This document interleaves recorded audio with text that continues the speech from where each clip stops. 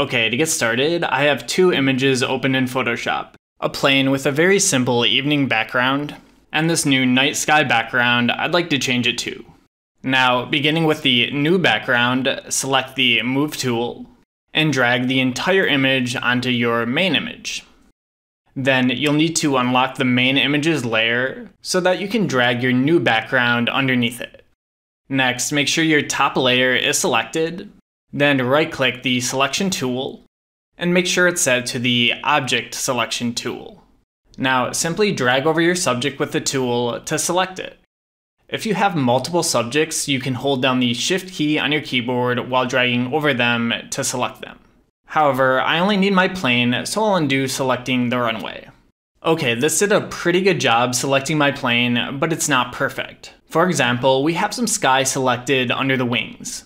For this next step, we're going to keep using the object selection tool, but we're going to change the mode from rectangle to lasso to make more precise selections. Now, to remove parts of your selection, hold down the Alt key on your keyboard while tracing over the part you don't want. It can be a little fussy, so it might take a few attempts to get exactly what you want. Of course, you can use the regular lasso tool if you're having too much trouble.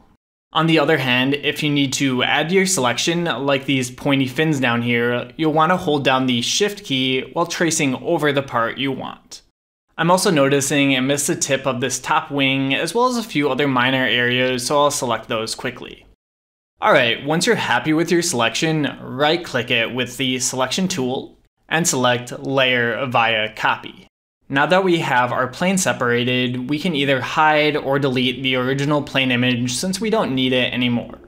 To move your subject around in the frame, make sure it's layer selected and then drag it to a new position by using the move tool. Okay, this looks decent, but the lighting on the plane looks weird and orangish because the sun was setting in the original shot. To fix the plane's lighting, make sure your layer with the subject is still selected, then go up to Image, Adjustments, Match Color.